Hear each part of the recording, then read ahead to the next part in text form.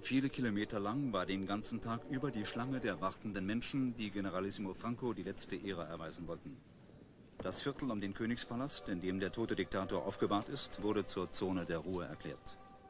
Der einbalsamierte Leichnam des 82-Jährigen in der blauen Gala-Uniform eines Generalkapitäns war heute früh in den Säulensaal des Schlosses übergeführt worden.